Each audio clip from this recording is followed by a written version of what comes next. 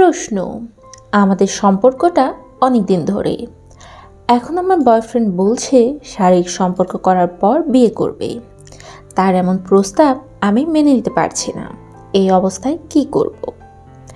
সরকার নারীদের ব্যক্তি স্বাধীনতা এবং স্বনির্ভর করার জন্য এতটা চেষ্টা করছে, তবুও তো দেখছি আপনাদের মতো নারীদের কোনো পরিবর্তনই নেই।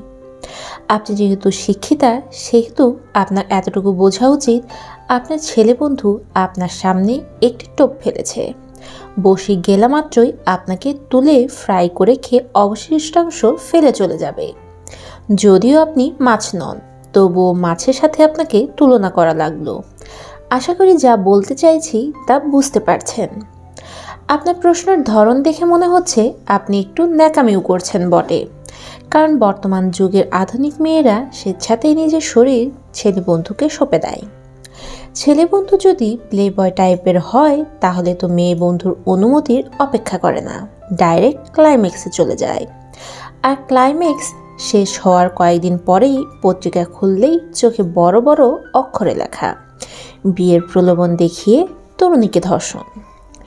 কিছু পুরুষ অবশ্যই খারাপ, মানসিকভাবে বিকৃত। যারা যৌনতার তাড়নায় নারীকে জোর জবরদস্তি করে, নিজের খায়েশ মেটাতে চায়। কিন্তু বিয়ের প্রলোভন দেখিয়ে ধর্ষণ, এটা আবার কি বোন? বিয়ে করার এত শখ কেন বোন? আপনার বংশে কেউ বিয়ে করে নাই, নাকি কোনোদিন কারোর বিয়ে হয় নাই?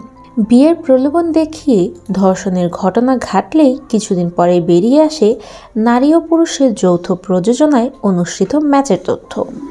আপনার ছেলে বন্ধুকে একটা অপশন দিন। যদি সে আপনাকে বিয়ে করে, তবেই তার এই সম্মতি মিলবে। যদি সে আপনাকে সত্যিই ভালোবেসে থাকে, তাহলে আশা করি সে আর জোরাজুরি করবে না। প্রাপ্তবয়স্ক নারী হিসেবে আপনার যৌনতার প্রয়োজন হলে আপনি নিজের ইচ্ছায়, স্বেচ্ছায় সচেতনভাবে তা পূরণ করতে পারেন। আর না চাইলে না করে দিন আপনার ছেলে বন্ধুকে। খুব জ্বালাতন করলে আইনের সহায়তা নিন। আর বৈধভাবে যৌনতার চাহিদা পূরণ করার জন্য বিয়ে শাদীর সুযোগ তো আছেই।